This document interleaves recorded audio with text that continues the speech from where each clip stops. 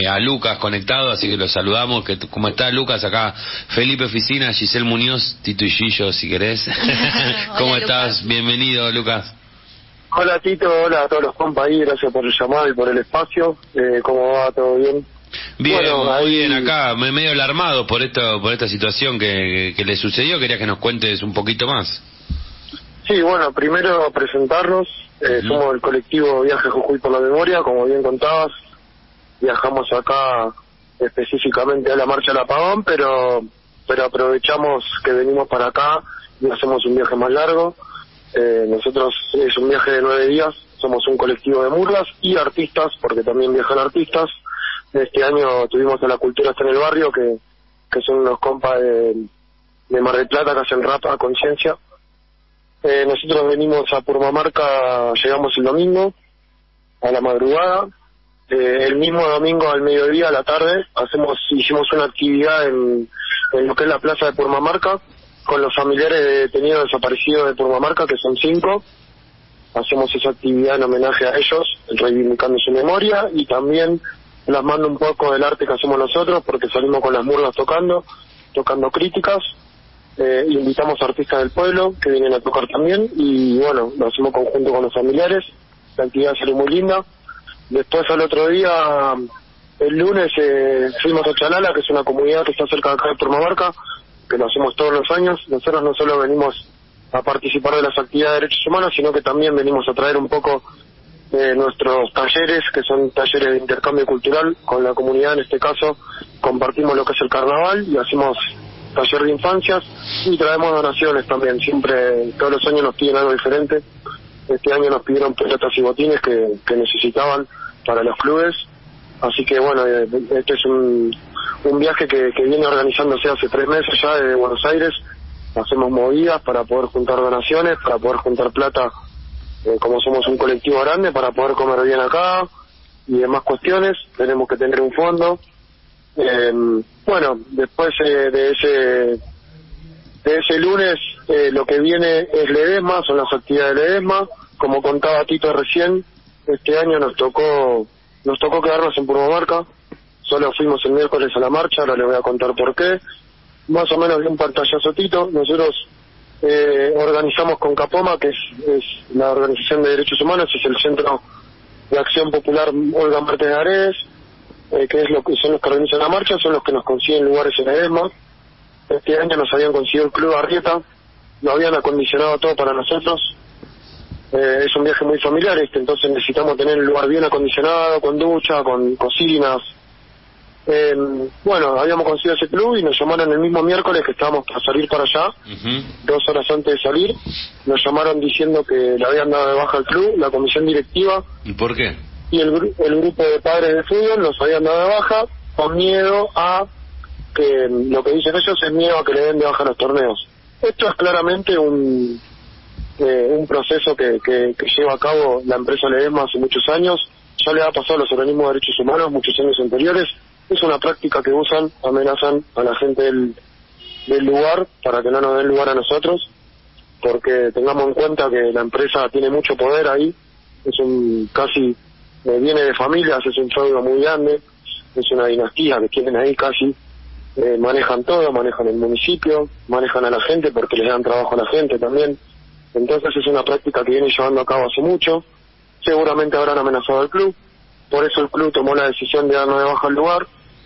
Eh, y bueno, eh, pasó que nos tuvimos que quedar acá en Purmamarca, estamos lejos de Ledesma, acá tres horas. Eh, entonces nos tuvimos que levantar, nos levantamos ayer.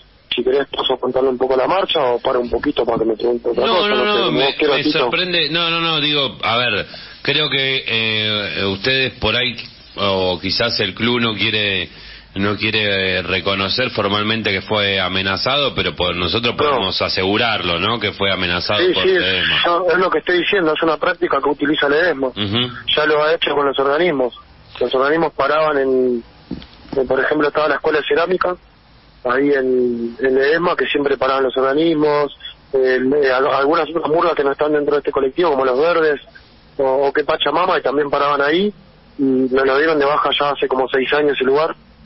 Eh, y fueron fueron bajando lugares o sea me hace acordar a, hay diferencias muchísimas pero digo estos aprietes de corporativos si querés eh, donde tiene más presencia eh, una empresa o un empresario que que, que quizás la, la, memoria, la verdad y la justicia, no la pelea por los derechos humanos, es el tema del lago escondido y Lewis, ¿no? Donde también eh, hay todo todo un conjunto, si querés, de, de vecino o aparato paraestatal que, que controla la, región y acá, por lo que vos contás, es similar. Es así, es así, el aparato estatal le responde a la empresa acá. El municipio, la policía, le responden a la empresa pero bueno, eh, nosotros siempre vengo diciendo hace dos o tres días de que nos dieron baja lugar, mientras más nos peguen, más vamos a luchar. Y es así, así nos lo inculcaron los compañeros y las compañeras. Eh, somos la voz de los desaparecidos y, así fue que por eso decidimos ir a marchar igual, más allá de, la situación política de Jujuy, que hay una persecución política y, e ideológica que, que son prácticas muy parecidas a la dictadura, ¿sí? de, un Estado persiguiendo a, dirigentes, persiguiendo a militantes. Eh, no lo vamos a comparar porque es otra cosa, eso es un terrorismo de Estado, esto se está haciendo en democracia, pero bueno, las prácticas son bastante parecidas. Es el poder económico manejando todo el aparato del Estado y Ledesma es la gran representación de eso, ¿no? Pero bueno, marchamos ayer igual, salimos de acá a las cinco y media de la mañana casi, hicimos un gran esfuerzo, eh, bueno, en el medio también volviendo se nos rompió el micro, pero bueno, la marcha estuvo muy bien, eh, eh, fue mucha gente, fue muy multitudinaria, la verdad que, que fue, de, sí. nosotros venimos acá, fue una de las más grandes, se ve que, que la conciencia de los compañeros y las compañeras de que la situación de política de Jujuy que, que hay, que tuvieron que venir, y bueno, movilizaron mucho en San Salvador, muchas organizaciones, la CCC, la TUPAC, digo, vos venías antes a a otras marchas y había mucha más gente, pero porque la Tupac metía 50.000 personas, ¿viste? No sé, estoy exagerando igual con número, pero metía 10.000, 20.000 personas metía. Sí, sí.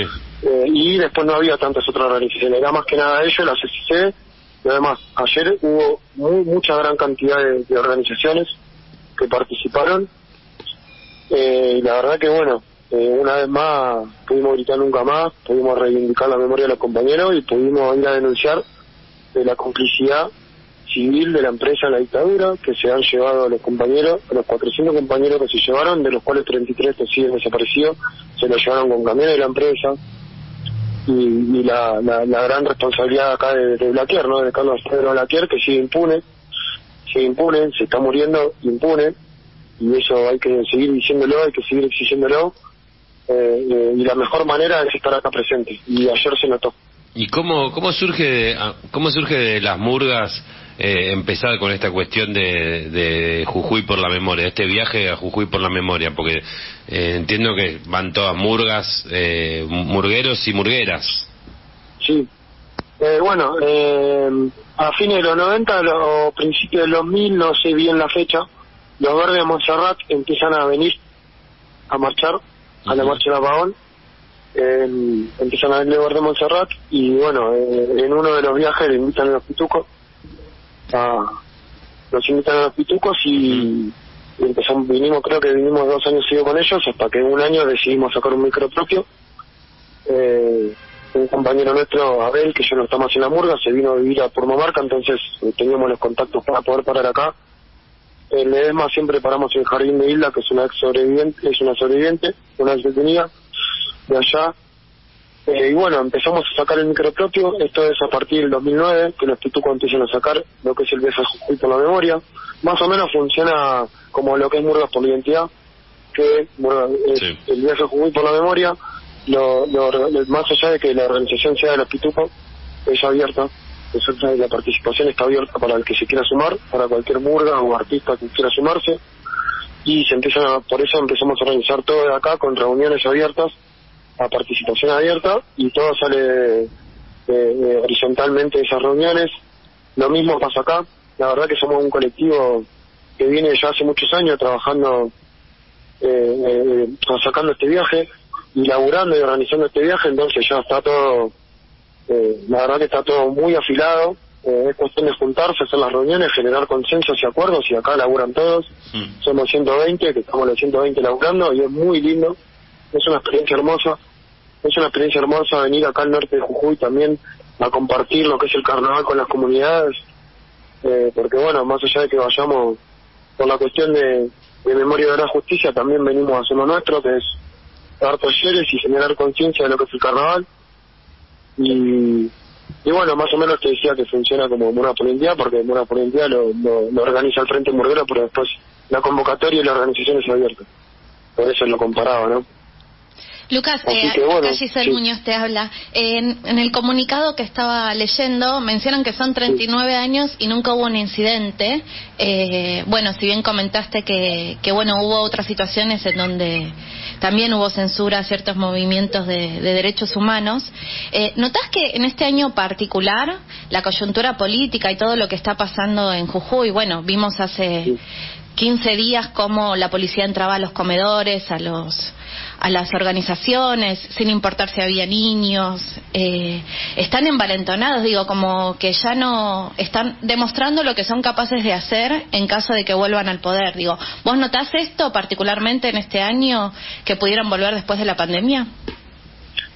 Eh, sí, primero, hola Giselle, ¿cómo andás? Bien. Eh, primero, primero eh, estas prácticas solían suceder en, eh, de la empresa, pero como eran organizaciones chicas, conseguían otros lugares. Esta es la primera vez que pasa porque nosotros somos un colectivo muy grande y los otros lugares que nos pudieron conseguir no, no eran eh, adecuados para que vayamos nosotros primero. Y sí es la primera vez a nosotros y, que una organización no puede parar en Ledesma esos días de, de la Marcha de Pavón. Y segundo, sí, primero creo que, que volvieron al poder porque todo esto, todas estas prácticas las está haciendo el gobierno de Gerardo Morales, que, que es el gobernador de Jujuy. No sé si iba por ahí la pregunta, no, no la Sí, entendí sí. muy bien, pero, pero bueno, sí, eh, volvieron al poder porque justamente Morales ¿Han marchado? ¿Ya están volviendo? ¿Ya regresaron? ¿Cómo sigue? Mira, ahora estamos en Purma, en el último día, el último día del viaje es el día de descanso, que comemos un asado, estamos haciendo el asado ahora, Vamos. eh, armando todos los bolsos, eh, y bueno, nada, asadito, eh, compartir eh, la última del viaje y ahora ya pegamos la vuelta para llegar mañana a la noche ya a Buenos Aires.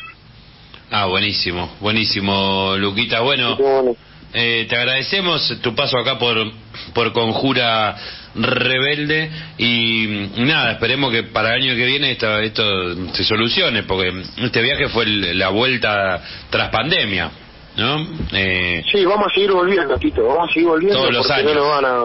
Si los compañeros, si después de que desaparecieron 30.000 compañeros seguimos estando en la calle, que es lo que nos enseñaron los organismos, tenemos que seguir, tenemos que seguir ahí, nos van a tener que pegar mil veces para que no... y- igual vamos a seguir siendo igual, porque es como decía antes, mientras más nos peguen, más vamos a luchar. Ah, y el año sí. que viene vamos a hacer más, que sepan que vamos a hacer más. Qué lindo, qué lindo.